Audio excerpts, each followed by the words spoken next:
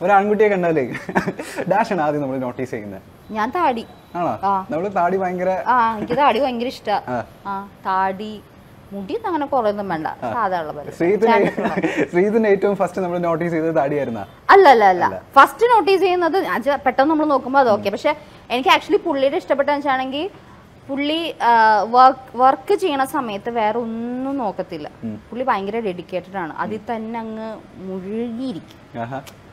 അപ്പൊ എനിക്ക് എനിക്ക് ആ സത്യം പറഞ്ഞാൽ ഞാൻ അങ്ങോട്ട് പ്രപ്പോസ് ചെയ്യുക ചെയ്തത് പുള്ളിനെ. ആ ഞാൻ അങ്ങോട്ട് പ്രപ്പോസ് ചെയ്തത് അപ്പൊ ആക്ച്വലി ഞാൻ ആ ഒരു ക്വാളിറ്റി ഒക്കെ കണ്ടിട്ടാണ് ഞാൻ പുള്ളിനെ അങ്ങോട്ട് പ്രപ്പോസ് ചെയ്തത് ഒരു ആൺകുട്ടിയായിട്ട് ഒരു ദിവസം ജീവിക്കാൻ ഒരു അവസരം കിട്ടിക്കഴിഞ്ഞാലേ ഇന്ന ഇന്ന കാര്യങ്ങളായിരിക്കും ഞാൻ ചെയ്യുന്നത്. ഏതൊക്കെ കാര്യങ്ങളായിരിക്കും? അത് ഉറപ്പായിട്ടും ട്രാവൽ തന്നെ.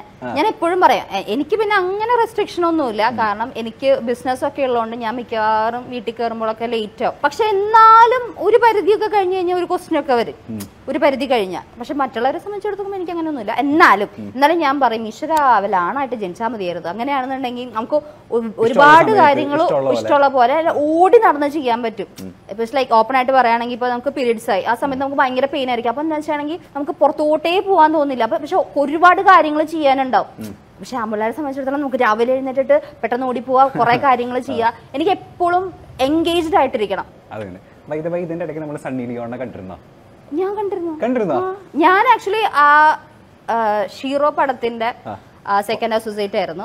അതുകൊണ്ട് ഞാൻ ത്രൂ ഔട്ട് ഉണ്ടായിരുന്നു ഡയറക്റ്റ് വിജയൻ എന്നിട്ട് എങ്ങനെ ഉണ്ടായിരുന്നു പുള്ളിക്കാരത്തിനെ കണ്ടപ്പോൾ ഉള്ള ഒരു നമ്മളൊരു ഫീലിംഗ് എങ്ങനെ ഉണ്ടായിരുന്നു ഞാൻ അതിന്റെ ലോഞ്ചിന്റെ സമയത്താണ് ഫസ്റ്റ് ടൈം ഞാൻ കാണുന്നത്.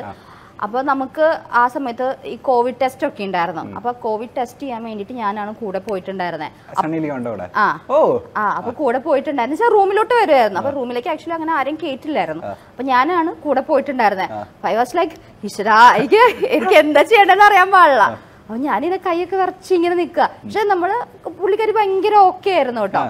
അത് കഴിഞ്ഞ് പിന്നെ ഷൂട്ടിന് നമ്മൾ ഇന്നും ഇന്നും ഇന്നും കാണാം. ഒരു രാവിലെ തൊട്ട് വൈകുന്നേരം വരെ നമ്മൾ പുള്ളിക്കാരിയുടെ വർക്ക് ചെയ്തുകൊണ്ടിരിക്കുന്നതല്ലോ. നിങ്ങൾ എന്തെങ്കിലും സംസാരിച്ചിരുന്നോ?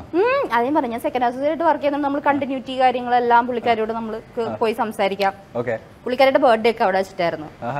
നമ്മൾ അവിടെ ബർത്ത്ഡേ ഒക്കെ സെലിബ്രേറ്റ് ചെയ്തു അടിച്ചു പൊളിച്ചു. പുള്ളിക്കാരത്തിൽ ഏറ്റവും ഇഷ്ടപ്പെട്ട് ആ കാര്യം എന്താ നമുക്ക് ഫീൽ ചെയ്ത? ഫീൽ ചെയ്തെന്ന് വെച്ചാണെങ്കിൽ സത്യം പറയുകയാണെങ്കിൽ ആ സിനിമയ്ക്കകത്ത് ഡ്യൂപ്പ് ഇല്ലാതെയാണ് ചെയ്തിരിക്കുന്നത്.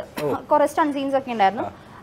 അതൊക്കെ പുള്ളിക്കാരി ഡ്യൂപ്പ് ഇല്ലാതെ ഭയങ്കര ഡെഡിക്കേറ്റഡ് ആയിട്ട് ഒരു കുഴപ്പമില്ല പുള്ളിക്കാരി വീണ് തലയും കുത്തിയൊക്കെ നിന്നിട്ടുണ്ട്. പക്ഷെ ചിരി തലയും കുത്തിയൊക്കെ ചിരിച്ചോണ്ടൊക്കെ നിൽക്കുന്നേ ഒരു അപ്പൊ ഞങ്ങളൊക്കെ പേടിച്ച് ഈശ്വരാ ഷൂട്ട് മുടങ്ങി. അപ്പൊ ഞാൻ പറഞ്ഞോണ്ടിരിക്കുന്നത് pack up pack up pack up കഴിഞ്ഞു ഷൂട്ട് കഴിഞ്ഞു. പൊക്കോ എല്ലാവരും പൊക്കോ. പക്ഷെ പുള്ളിക്കാരിക്ക് ഒരു കുഴപ്പമുണ്ടായിരുന്നില്ല. പുള്ളിക്കാരി ലൈക്ക് അതെന്താ? കുഴപ്പമില്ല. അതൊരു വീണ്ടും വീണ്ടും റിഹേഴ്സൽ ചെയ്യും. അതങ്ങനെ ചെയ്ത് നോക്കിക്കൊണ്ടിരിക്കും. ഡ്യൂപ്പ് ഒന്നും ഇല്ലാതെ പുള്ളിക്കാരി തന്നെ എല്ലാ കാര്യങ്ങളും ചെയ്യും.